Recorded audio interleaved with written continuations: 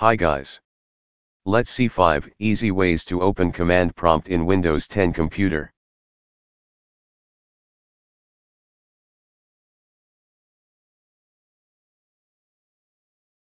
There are several ways to open command prompt but in this video you can learn the easiest way of opening the command prompt.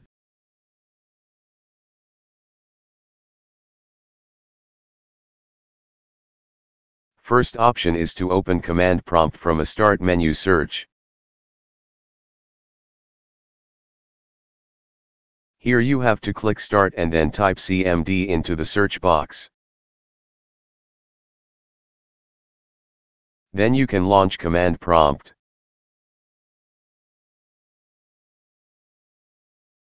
Second option is to open command prompt from Task Manager.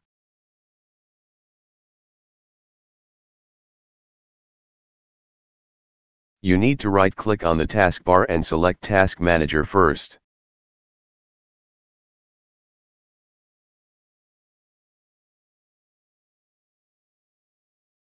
Then open the File menu and then choose Run New Task. You have to type CMD or Command EXE and then click OK. Then it will launch command prompt.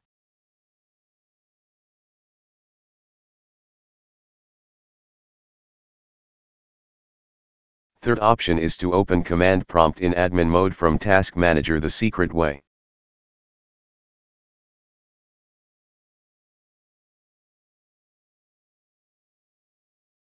Right-click on the taskbar and select Task Manager. Then open the File menu then hold Ctrl key while clicking Run New Task.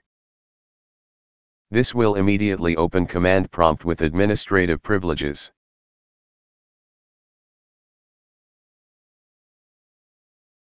Fourth option is to open command prompt by scrolling through the Start menu. Click Start and you can pick W letter to go to the Windows system.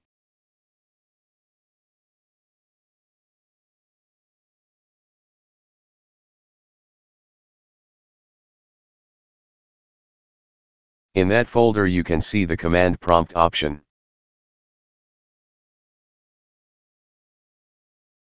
By selecting it will launch command prompt.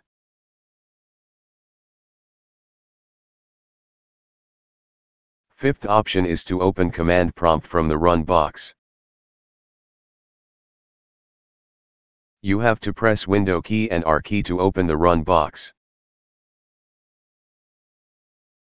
In there you have to type CMD and then click OK. Then it will launch command prompt. So that is it about 5 easy ways to open command prompt in Windows 10 computer. So if you enjoyed the video please like share and comment to the video and subscribe to my channel. Thank you.